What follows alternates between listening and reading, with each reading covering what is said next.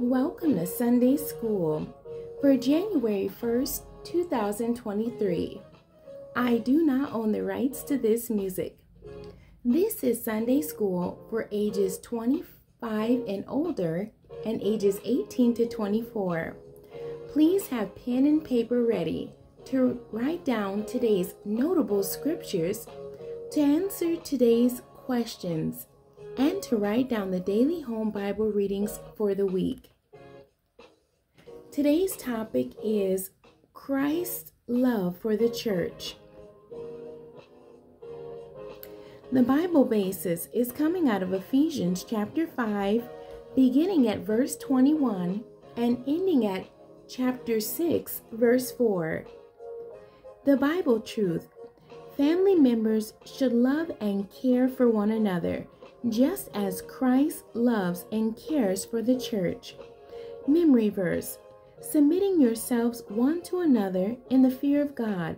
And that's Ephesians chapter 5, verse 21. The lesson aim By the end of the lesson, we will compare Christ's love for the church with the relationships among family members. Appreciate Christ's sacrifice to show love and care for the church and accept responsibility for showing love in the family as Christ demonstrated love for the church. Our lesson overview Life need for today's lesson to treat our family members with the love of Christ. The Bible learning to learn that God has standards for each member of the family. The Bible application to know that we are to respect and love each one of our family members. Students' responses Students will demonstrate the love of Christ to the members of their families. Our lesson scripture I will read both the King James Version and the Amplified Version. Beginning at Ephesians chapter 5, verse 21. Submitting yourselves one to another in the fear of God.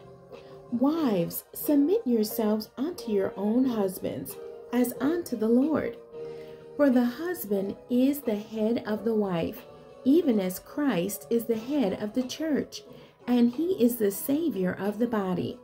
Therefore, as the church is subject unto Christ, so let the wives be to their own husbands in everything. Husbands, love your wives, even as Christ also loved the church and gave himself for it, that he might sanctify and cleanse it with the washing of water by the word, that he might present it to himself a glorious church, not having spot or wrinkle or any such thing, but that it should be holy and without blemish. So ought men to love their wives as their own bodies. He that loveth his wife loveth himself. For no man ever yet hated his own flesh, but nourisheth and cherisheth it, even as the Lord the church. For we are members of his body, of his flesh, and of his bones. For this cause shall a man leave his father and mother, and shall be joined unto his wife, and they two shall be one flesh. This is a great mystery, but I speak concerning Christ and the church. Nevertheless, let every one of you in particular so love his wife even as himself, and the wife see that she reverence her husband. Children, obey your parents in the Lord, for this is right. Honor thy father and mother, which is the first commandment with promise, that it may be well with thee, and thou mayest live long on the earth. And ye fathers, provoke not your children to wrath, but bring them up in the nurture and admonition of the Lord. The Amplified Version of Ephesians, chapter 5, beginning at verse 21. Being subject to one another, out of reverence for Christ. Wives, be subject to your own husbands, as a service to the Lord. For the husband is head of the wife, as Christ is head of the church, himself being the Savior of the body. But as the church is subject to Christ, so also wives should be subject to their husbands in everything, respecting both their position as protector and their responsibility to God as head of the house. Husbands, love your wives, seek the highest good for her, and surround her with a caring, unselfish love, just as Christ also loved the church and gave himself up for her, so that he might sanctify the church, having cleansed her by the washing of water with the word of God, so that in turn he might present the church to himself in glorious splendor, without spot or wrinkle or any such thing, but that she should be holy, set apart for God, and blameless. Even so, husbands should and are morally obligated to love their own wives as being, in a sense, their own bodies. He who loves his own wife loves himself, for no one ever hated his own body, but instead he nourishes and protects and cherishes it, just as Christ does the church, because we are members, parts of his body. For this reason, a man shall leave his father and his mother and shall be joined and be faithfully devoted to his wife, and the two shall become one flesh. This mystery of two becoming one is great, but I am speaking with reference to the relationship of Christ and the church. However, each man among you, without exception, is to love his wife as his very own self, with behavior worthy of respect and esteem, always seeking the best for her with an attitude of loving kindness.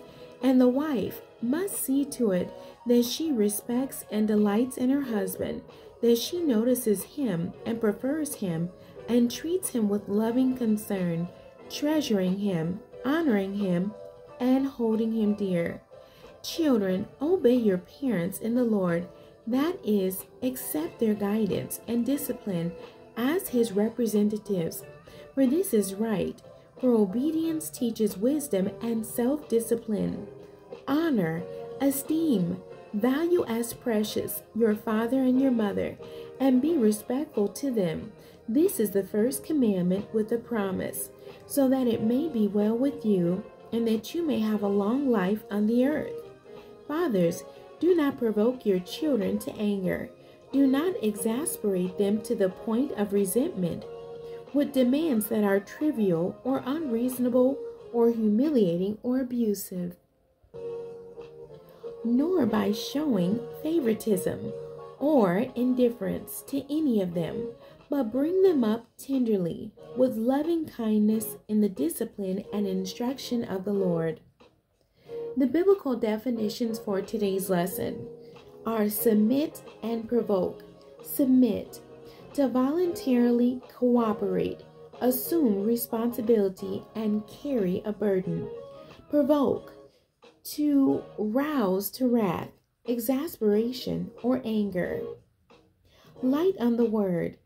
The verses found in Ephesians chapter 5, beginning at verse 21 and ending at chapter 6, verse 4, comprise what is called a household code. These statements were often broken down into discussions of husband and wife, father and children. The codes were developed by the philosophers of the day and delineated a group's belief on how the head of a household should lead his family. At the time, Paul wrote Ephesians. Many Romans were concerned that religions such as Judaism and Christianity would negatively influence traditional Roman family values. To allay these fears and show their support for these values, Christians, Jews, and other religious groups would often employ a standard form of statements. The introduction says, a spirit filled life is one submitted to others. In Ephesians chapter 5, Paul calls unbelievers to live out a life of holiness in relation to the world around them.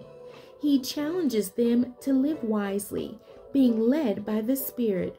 A spirit led life will produce a believer who is becoming more like Christ every day. As we become more like Christ, we will learn to respect and submit to others in love and humility, and that the foundation of family relationships is to be modeled after Christ's love for the church. Lesson point one reflecting Christ's authority over the church. Ephesians chapter 5 verse 21 is a general instruction to all believers to submit to one another in love. This principle is directly associated with verse 18, where Paul instructs believers to be filled with the Spirit. When we are living a spirit led life, God gives us the grace to live in an attitude of humility and submission to others. The relationship of the wife to her husband is found in Ephesians chapter 5 verses 21 through 24. Paul addresses the wives first. He instructs wives to submit to their husbands as unto the Lord. The word submit in this verse means to yield one's rights or to cooperate. This word does not imply slavish obedience or being silent in the home. Though the household codes of ancient days often required a wife to obey her husband, Paul does not make this a requirement. Rather, he appeals to a wife's dedication to God as a basis for submission to her husband. In other words, when a wife honors and respects her husband, she is submitting to God and his plan for the family. In verse 23, Paul explains why a wife is to submit to her husband because he is the head of the wife and family, just as Christ is the head of the church. Christ was appointed by God to be the head of the church. On the basis of this authority, the church is to submit to him some people might conclude from these verses that there is an inequality between males and females, but Paul makes clear that in Christ all are equal. Notable scriptures 1 Corinthians chapter 11 verses 8 through 12 and Galatians chapter 3 verse 28. Within this equality, however, order and respect for authority should exist. It is within this context of understanding that the word submission sets an agenda for reverence to God and his divine principles. This is done as a means to cultivate a submissive spirit which values and seeks to unselfishly support, love, and respect others for the sake of Christ. Thus, Paul laid this framework for his teaching regarding the marriage relationship and true harmony in the home. Paul underscored how a husband and a wife, through devotion for the sake of Christ, must dutifully exercise love and respect for each other in a marriage relationship. Paul primarily illustrated the quality of the nature of relationships that should exist between husbands and wives. When he drew on the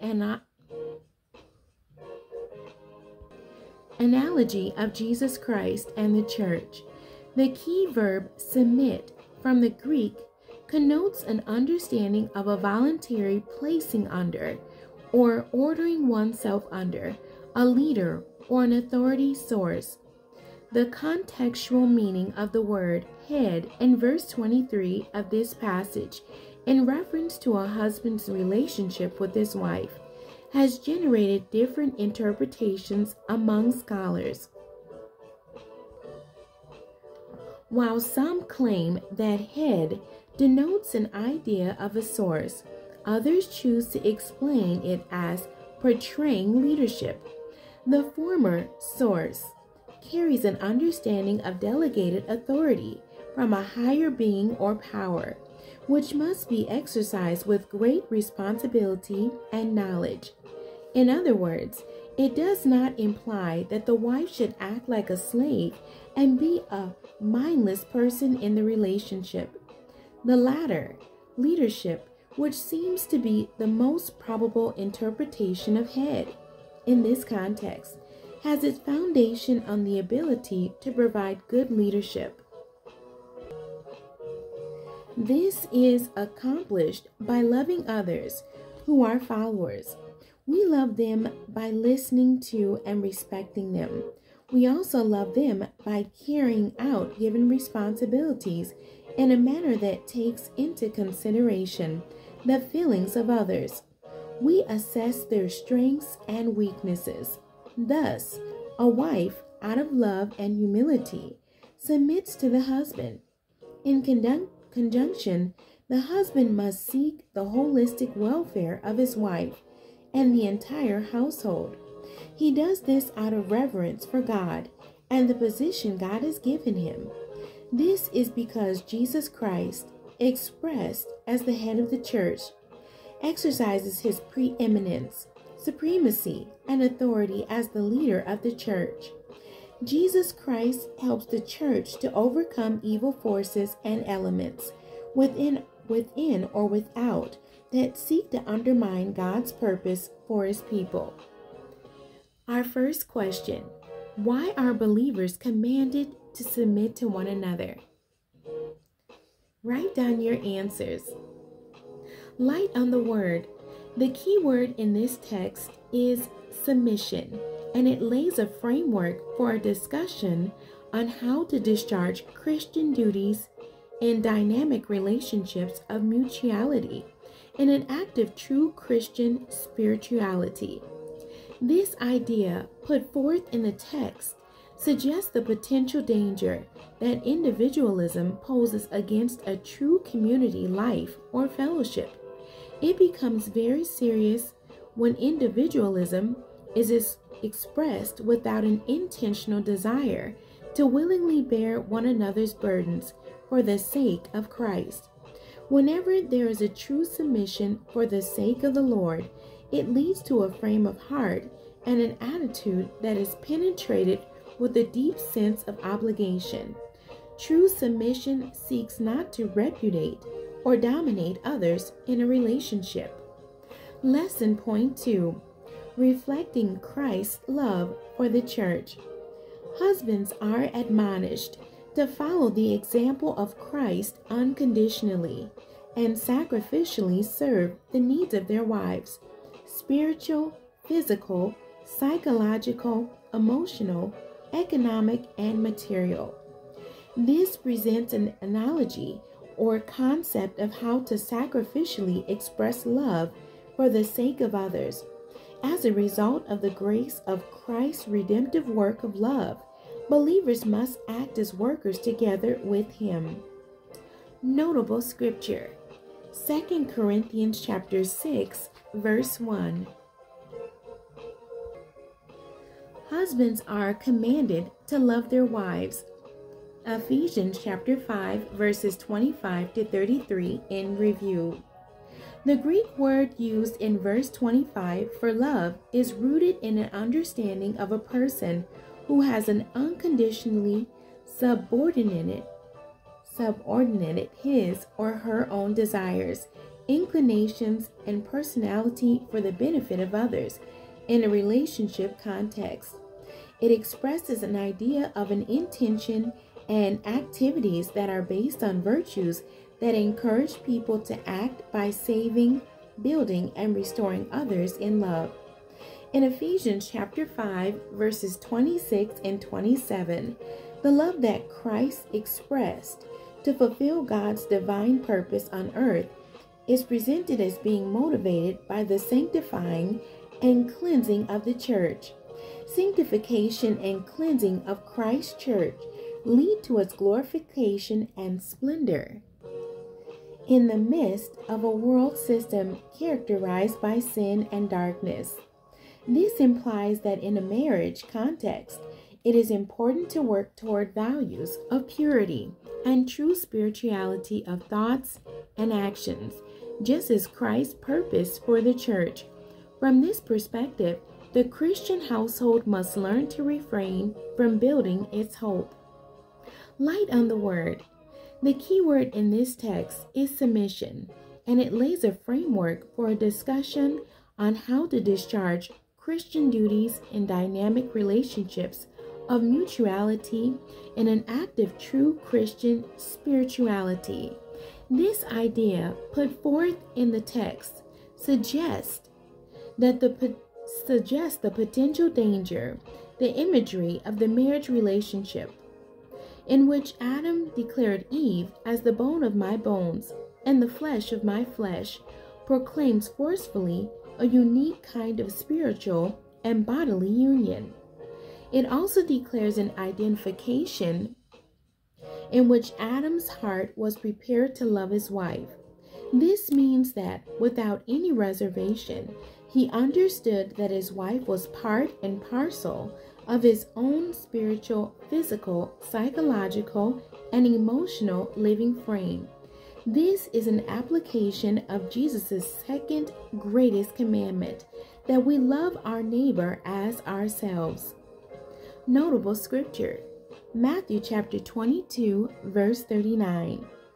In this case, one spouse is the closest neighbor, and each one should think of the other as he or she would of himself or herself. It gives a clear picture of how Christ loved the church, his own body, and laid down his life for it. Question 2 How are husbands to love their wives? Make sure to write down your answers. Light on the Word Jesus Christ expressed a sacrificial kind of love to the church when he laid down his life so that the church could be born, developed, and expanded.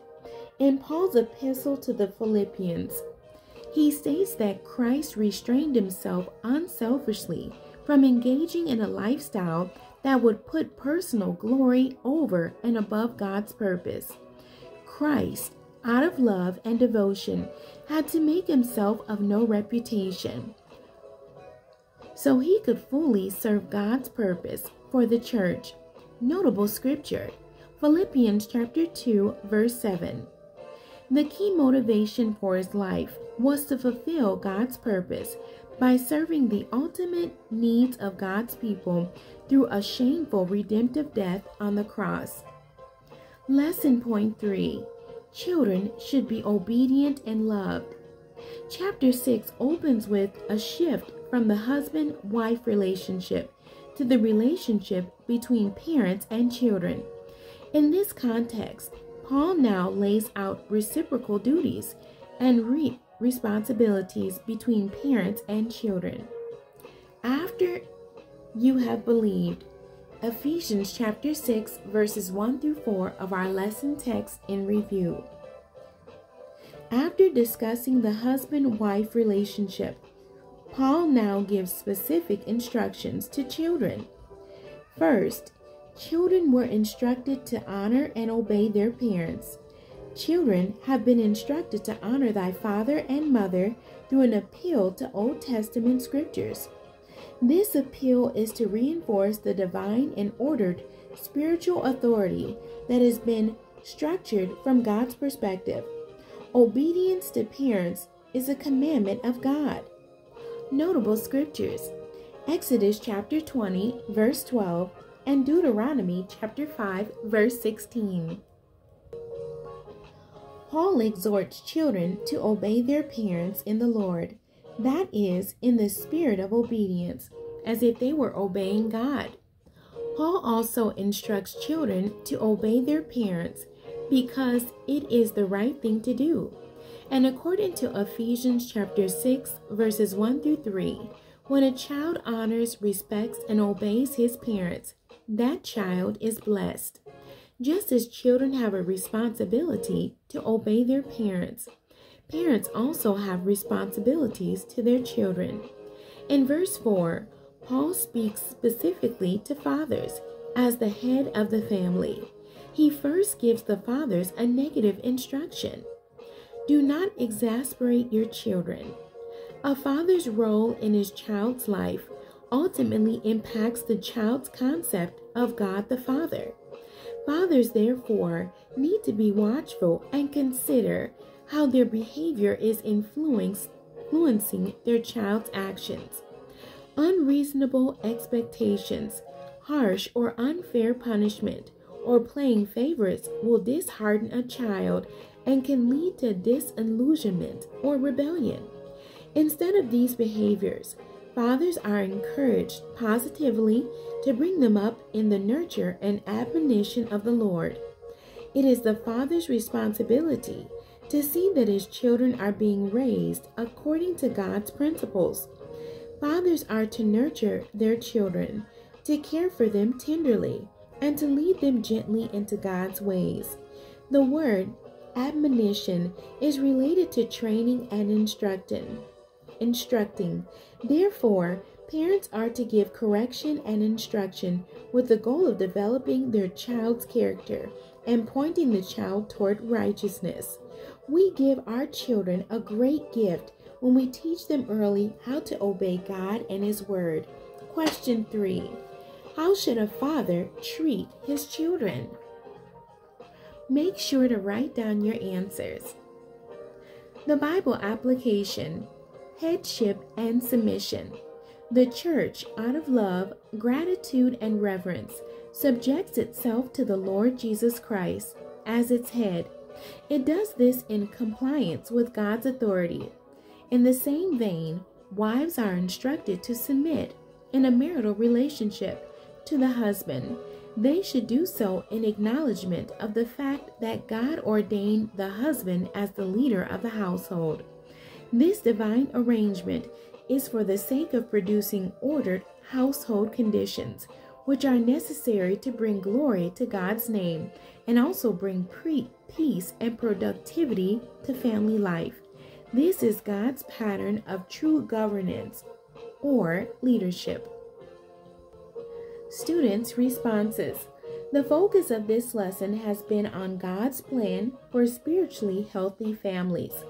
God laid out specific principles for loving, harmonious family life. When we live according to these principles, a godly family is a result, and a godly, harmonious family is a living testimony to Christ's love for the church. Whatever the makeup of your family, the principles of today's scriptures apply. It matters not if you are single or married, if you live alone or in an extended family situation.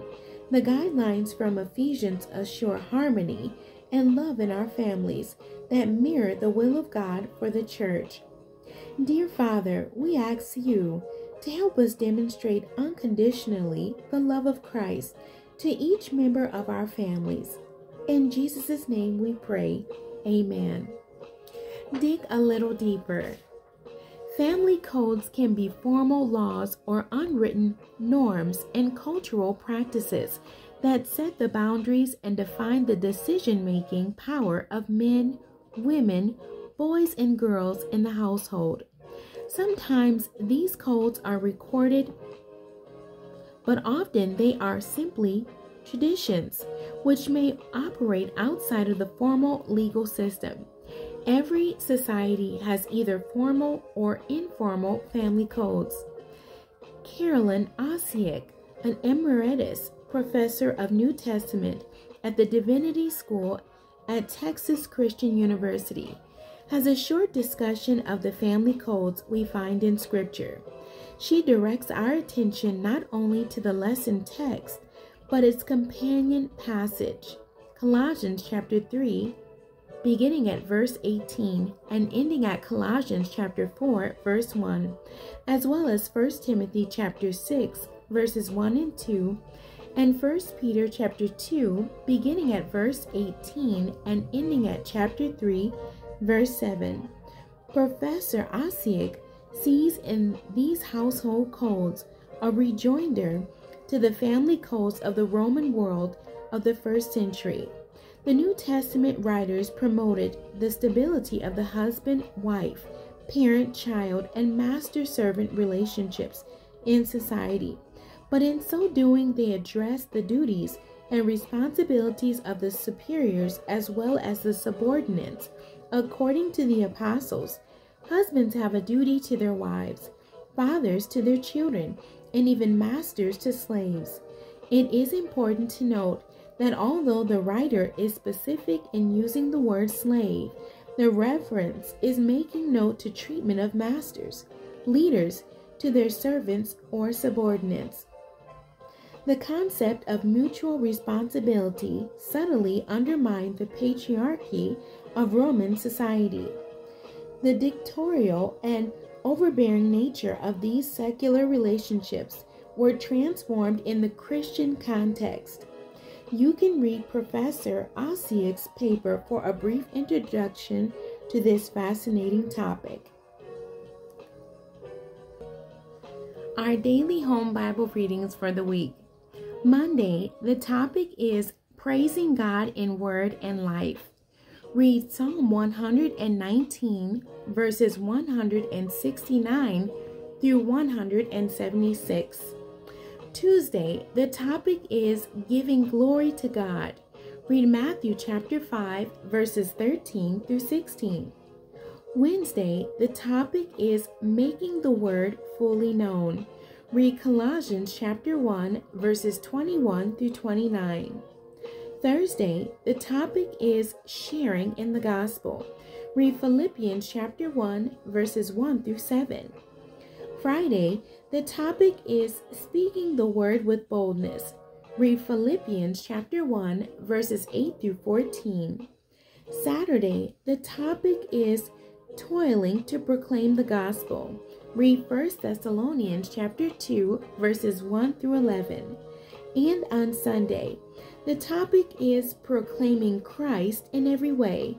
Read Philippians chapter 1, verses 15 through 26. The end. God bless you and thank you for joining me today.